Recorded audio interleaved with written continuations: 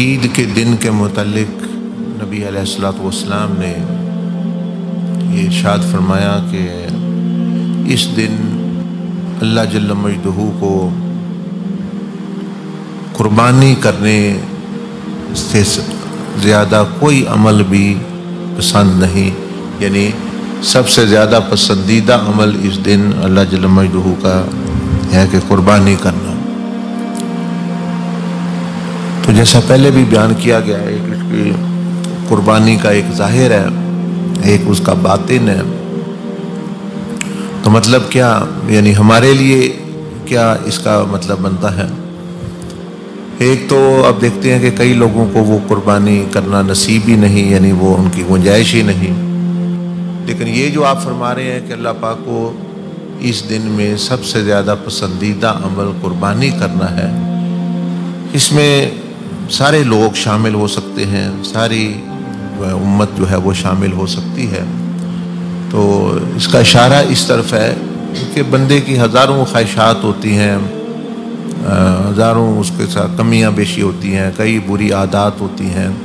इसी तरह बहुत सारी चीज़ें उसको पसंद होती हैं, कुछ ज़्यादा, कुछ कम, कुछ बहुत ज़्यादा।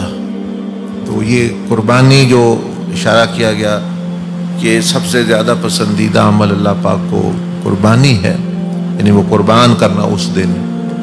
तो इसका इशारा इस तरफ़ है कि बंदा खुद सोचे कि मेरी ज़िंदगी में कीमती तरीन चीज़, पसंदीदा तरीन चीज़ वो क्या है जो अल्लाह जल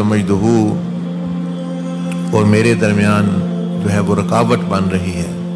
कोई ना कोई ऐसा गुनाह, कोई ना कोई ऐसी आदत, कोई एक ऐसी चीज़ बाज़ दफ़ा होती है कि वो बंदे को, बंदे के नफ्स को बहुत ज़्यादा पसंद होती है और बंदा बहुत सारी चीज़ों को छोड़ता भी है, लेकिन वो एक उस, वो निकालता नहीं है। जो उसको पता होता है, लेकिन वो समझता है ये बड़ा मुश्किल है, इसको छोड़ना या उसको, उसके साथ लगाओ ताल्लक बड़ा होता है, वो रूहानी बीमारी भी हो सकती है।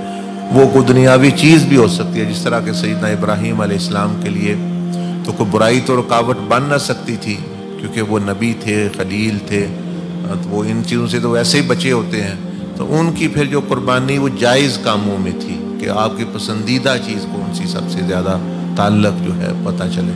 हमारा उलट मामला है कि हमें बहुत सारी बुरी चीज़ें पसंद आ जाती हैं। तो हमारे लिए समझ लें, ये कुर्बानी का जो पैगाम है यानी वो ये है कि हम अपने आप का मुहासबा करें और इस दिन उस शय को, उस आदत को, उस सोच को और उस बुराई को कुर्बान कर दे तो ये अल्लाह पाक के नज़दीक इस दिन की सबसे ज़्यादा पसंदीदा